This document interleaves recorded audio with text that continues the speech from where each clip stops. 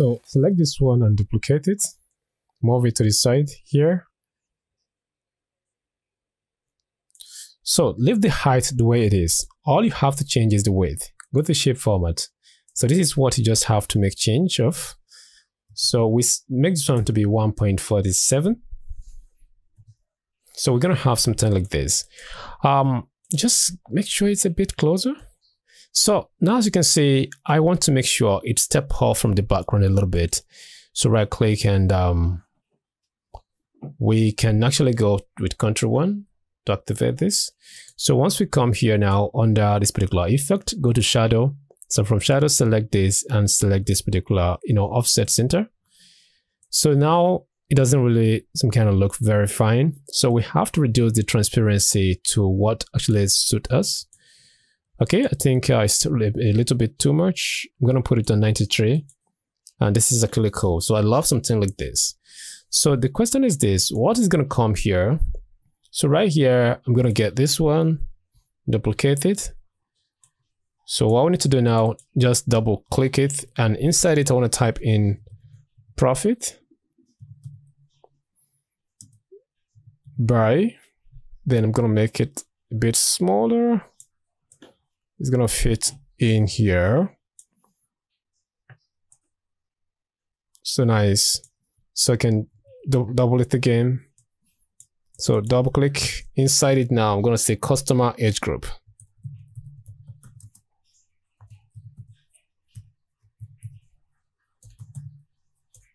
So customer age group. So we just have to make sure we reduce this a bit. Okay, I think it's gonna be too small. So let us go with this. And I have to make sure it pops a bit. So this one is gonna be here.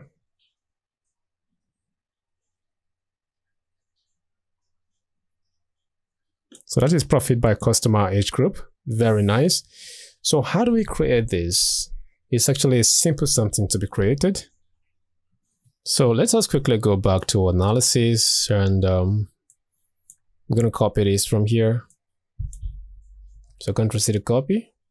Then I come right here over a bit and drop this down. So what I'm going to do now is contribute to paste it. So I'm going to have to create a demarcation here.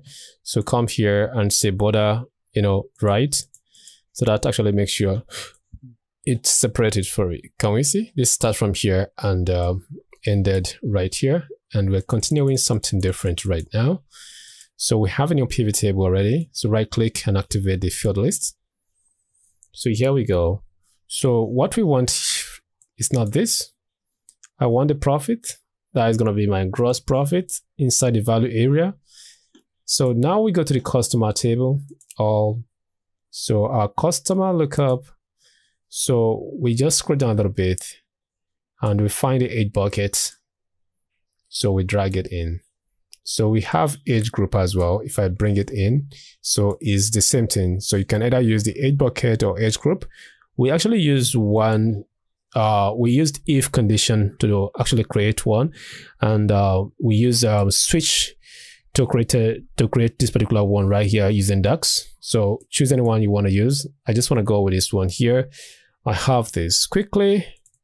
All I have to do now is just for me to make sure I copy this again. So I'm going to have this one right here. That is beautiful. So with this one here, this is what I want. Um, I'm going to have to reference this top one and copy this down.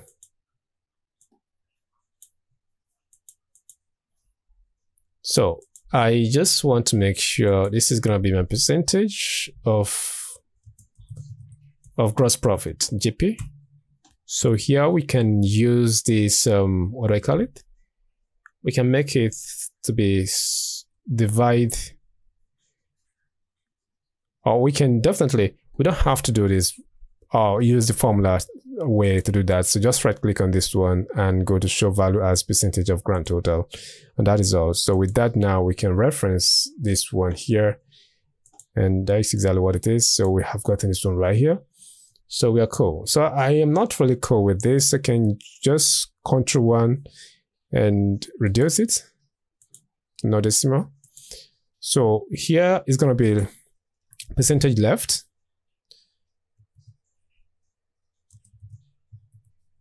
So percentage left here.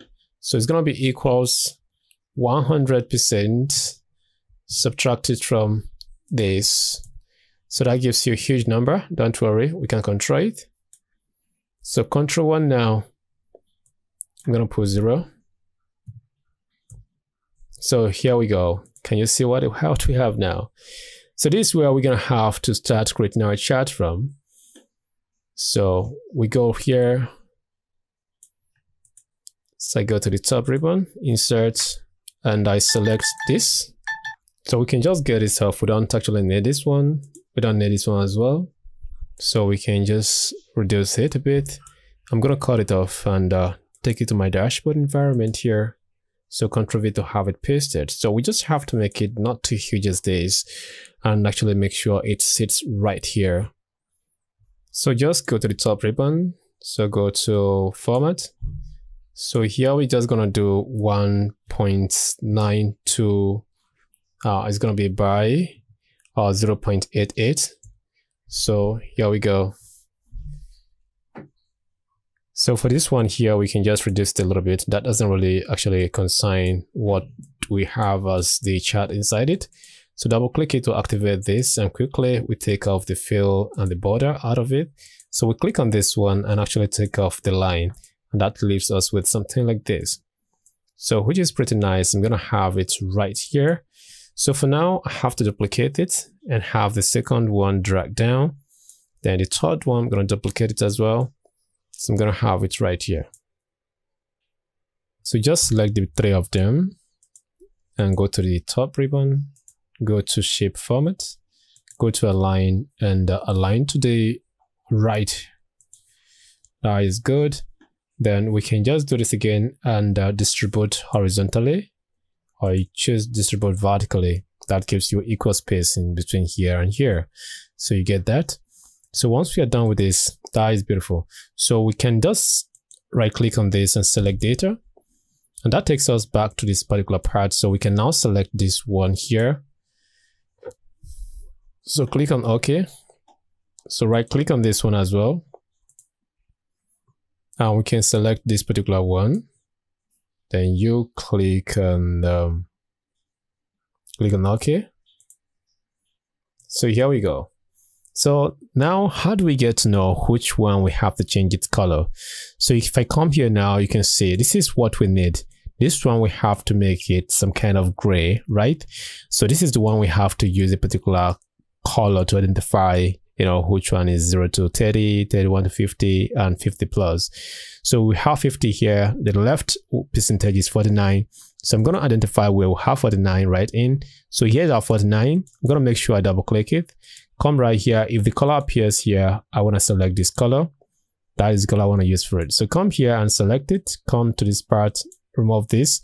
So automatically we are changing this one. So be consistent with this color. So I'll select this one here. So come right here, deselect this, and we select this as well. So we just have to select and go back here, no line for it. So we have this. So the next thing again is for we to select this one. So it is the high time to change the color we want to use for it. I want to use this color. And for this particular part here, we go right back down.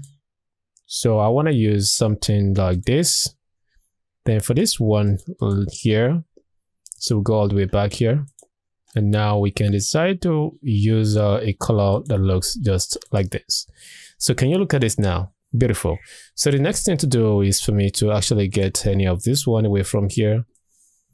I can just make it small where I can actually make sure it sits right into what I have here. So with this, you can come here and centralize it. Then from there, I go right in here and bring in the percentage that is peculiar to it. So that is 50%. So with 50%, we are good. Stretch it a bit open it up. So Ctrl D to actually duplicate it, have it in the middle.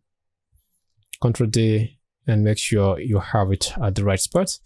So we just want to select this one, go all the way down, and uh, here we go. Select this one, go all the way here is 14. So as you can see, this is exactly what it is. So we can select the content inside it. So go to the top and change this one to 18. So from 18, we can change the font type to something like Cordia, you know, UPC.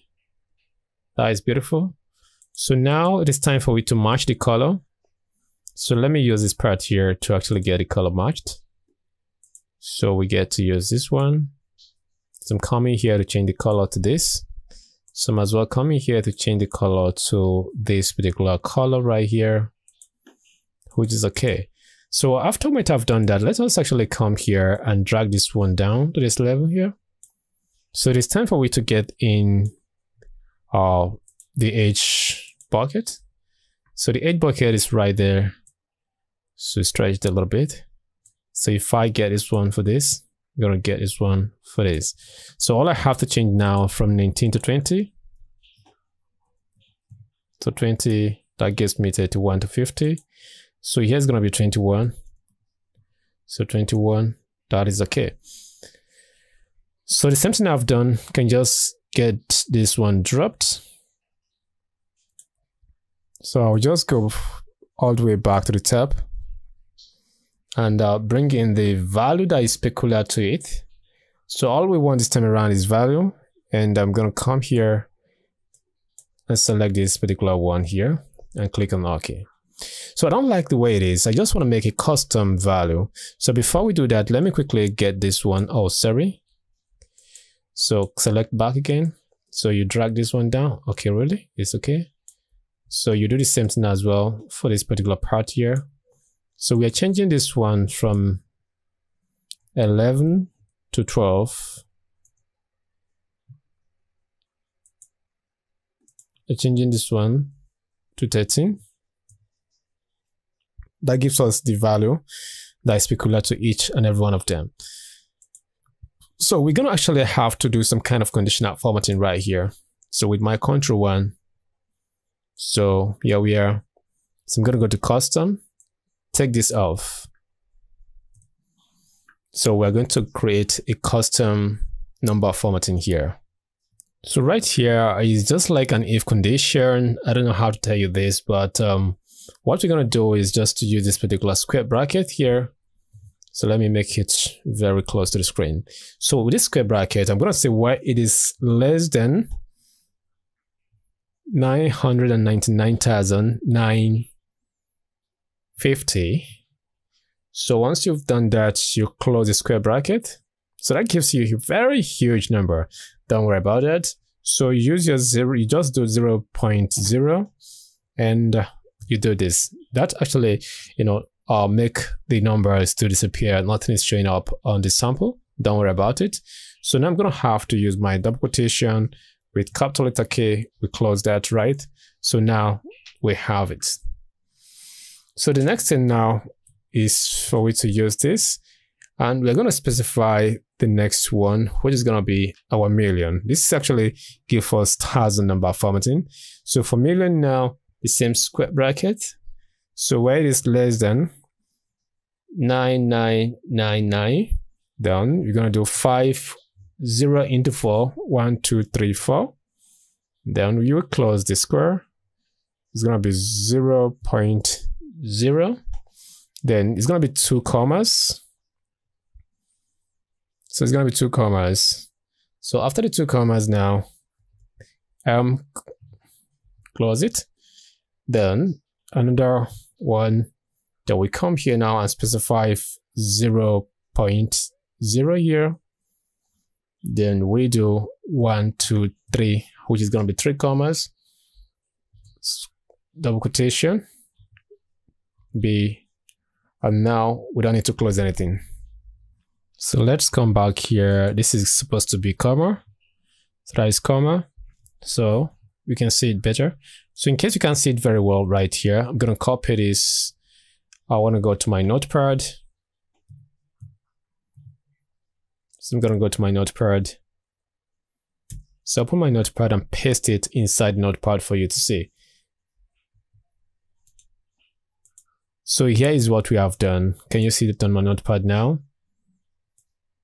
Can you see this? So exactly.